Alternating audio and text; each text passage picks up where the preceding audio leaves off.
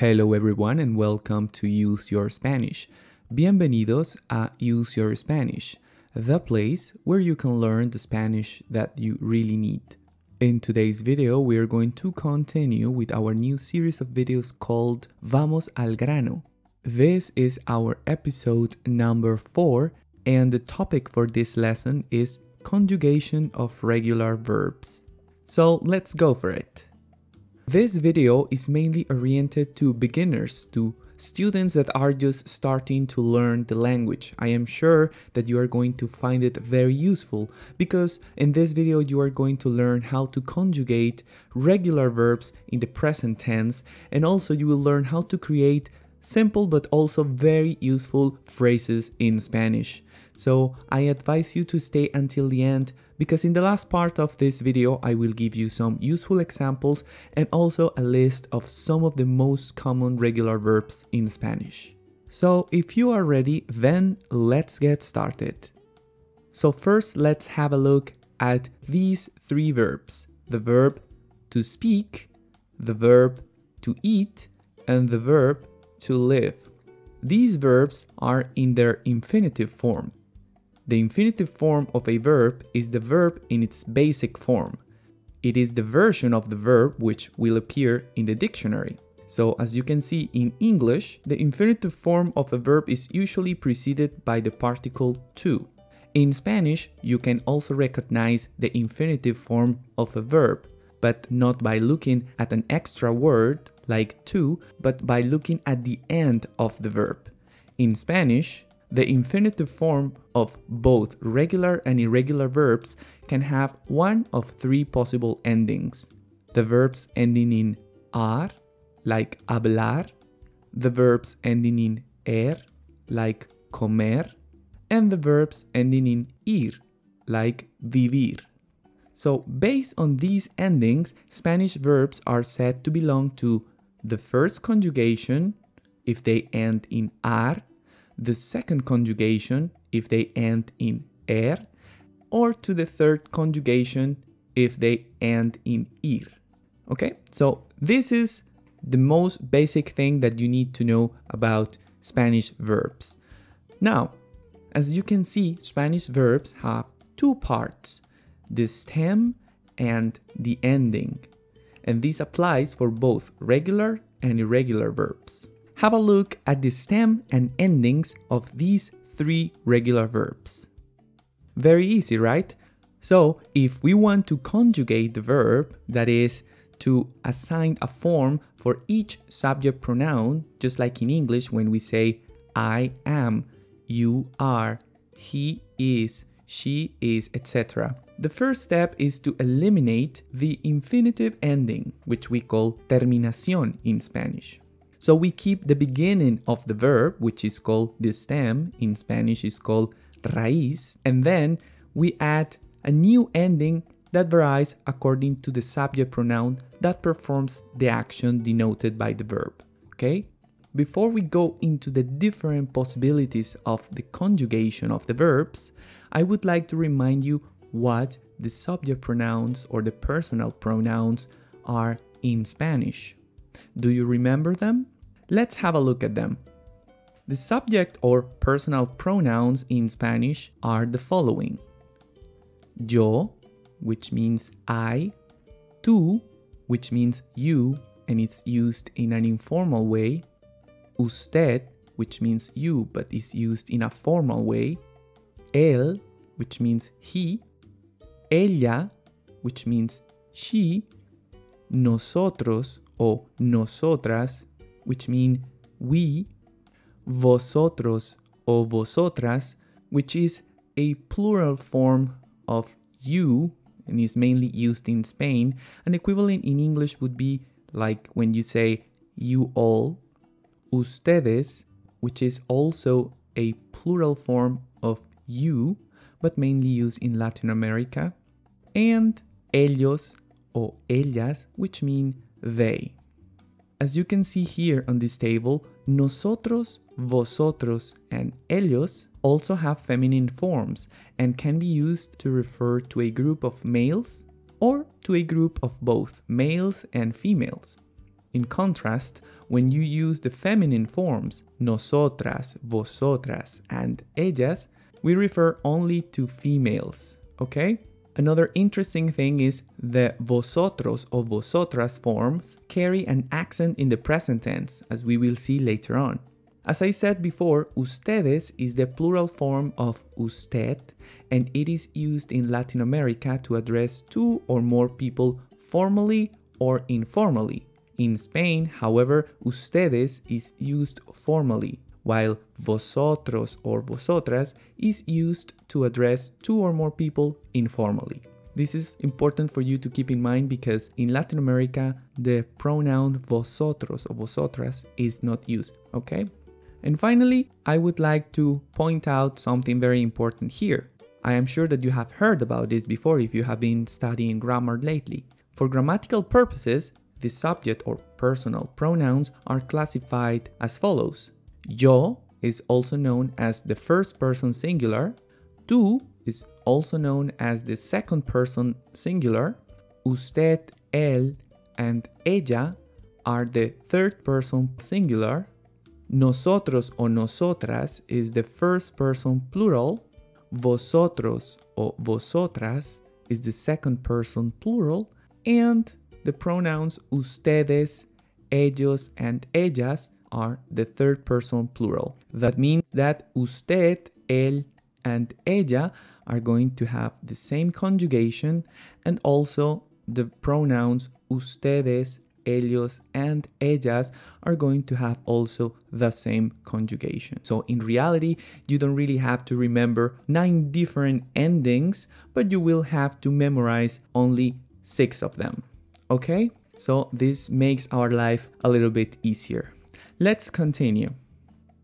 So now we are really going into the conjugation of the regular verbs in Spanish. In this video, you are going to learn the conjugation in the present tense, more exactly the present indicative.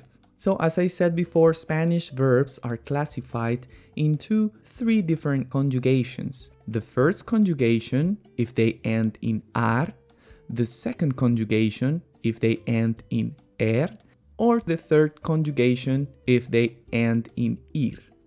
Let's have a look at some examples. The verb caminar caminar. So following this pattern, we take the stem of the verb, we eliminate the ending and we replace this ending for the respective ending according to the subject that we are talking about. Yo camino, I walk. Tú caminas, you walk. Usted camina, you walk. Él camina, he walks. Ella camina. She walks. Nosotros o nosotras caminamos. We walk. Vosotros o vosotras camináis. You all or you guys walk. As I said before, this is the only conjugation in this tense that has an accent, as you can see here. Next one, ustedes caminan. You all or you guys walk. And finally, ellos o ellas caminan. They walk. Now the verbs ending in er, like the verb comer. The conjugation would be yo como, I eat. Tú comes, you eat. Usted come, you eat. Él come, he eats. Ella come, she eats. Nosotros o nosotras comemos, we eat. Vosotros o vosotras coméis. You all or you guys eat. Ustedes comen. You all or you guys eat. Ellos o ellas comen. They eat.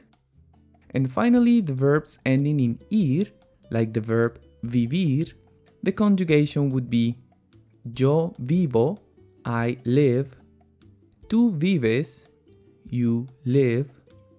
Usted vive, you live.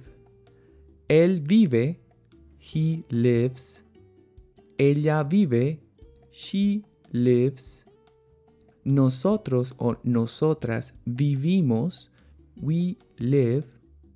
vosotros o vosotras vivís, you all or you guys live, ustedes viven, you all or you guys live, and ellos o ellas viven, they live. So don't worry if at first glance you feel like it's a lot to memorize because in reality this pattern can be reproduced with so many verbs, some of which we are going to look at the end of the video. So in the end, with practice, it becomes very mechanical, okay? Anyways, remember that these three pronouns, which are also known as the third person singular, receive or have the same conjugation. Also, these two ones, which are called the third person plural, they also have the same conjugation, as you can see here. Okay? Another thing that I would like to point out here is that Spanish verb endings are different for each pronoun and therefore they indicate who or what the subject of the sentence is. For this reason, it is not necessary to include the personal or subject pronouns all the time. Let me give you some examples in the present indicative. Yo hablo español. Yo hablo español. In this case, we can omit the pronoun yo because we are conjugating the verb with the specific ending to the pronoun yo. In this case, it is enough to say hablo español. Another example, tú lees un libro. Since we are conjugating the verb leer for the specific pronoun tú, we don't really need to use the pronoun in the sentence. However, in other cases, we need to clarify. For example, habla español or leen un libro. In these two cases, we need to clarify who the subject of the sentence is. For example, in the first one, it can be él habla español or ella habla español. We need to clarify and to make it clear who we are talking about. If we are talking about he or she. And in the next example, leen un libro, in this case, it can be ellos leen un libro or ellas leen un libro. And we need to clarify if we are talking about a group of males or a group of females. Okay, well, I hope these examples make it a little bit clearer for you. So all these examples and these conjugations are in the present indicative. And of course, I will make another video to explain a little bit more in detail the different tenses in Spanish. But since you are just starting to learn the language, I think this is one of the most useful tenses to start practicing because it is one of the most used and most versatile verb tenses in Spanish because we can use it to talk not only about the present, for example, vivo en España or yo vivo en España as we said before, which means I live in Spain, but also about the future. For example, have a look at this sentence.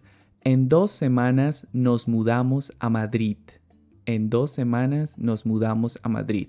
This sentence literally means in two weeks we will move to Madrid. But as you can see here, even though we are talking about something in the future, we are still using the present indicative because in Spanish you can also use it to talk about the future. And even we can use the present indicative in some cases to talk about the past.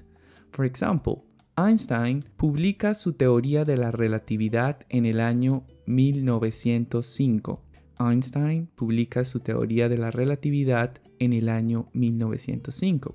In English, this sentence would be something like Einstein published his theory of relativity in 1905.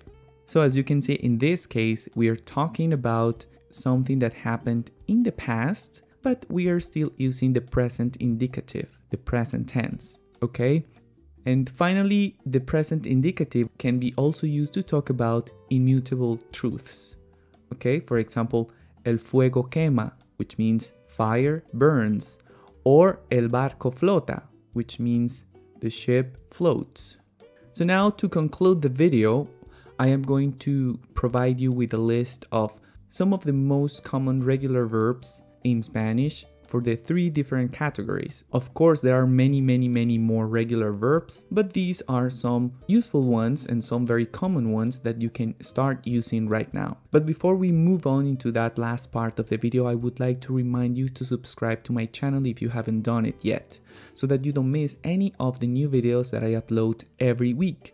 Remember that on my channel I have different series of videos focused or oriented to different levels of students. So if you don't want to miss out, make sure to hit the subscribe button and also activate the notification bell so that you receive a notification every single time I upload a new video. Additionally, you can follow me on my social networks on Facebook and Instagram and visit my website www.useyourspanish.com where you will find all my content organized by categories and additional materials.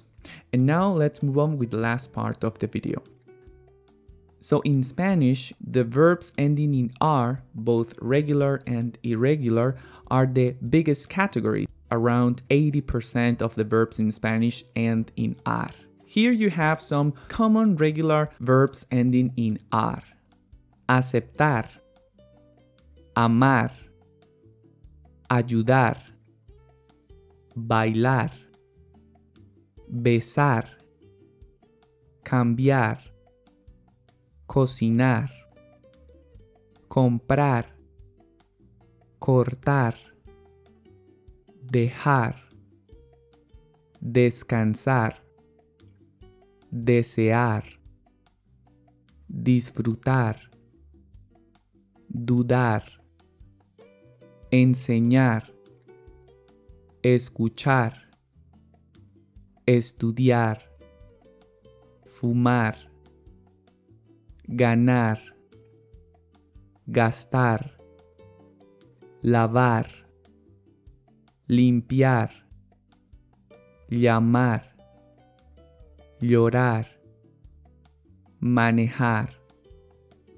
mirar, nadar, necesitar, olvidar, preguntar, prestar, trabajar, usar, viajar, visitar.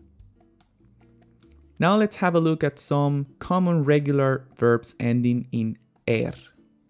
Aprender, barrer, beber, cometer, correr, comprender, conceder, depender, deber, exceder esconder, meter, proceder, prometer, poseer, romper, sorprender, temer, toser, tejer, vender.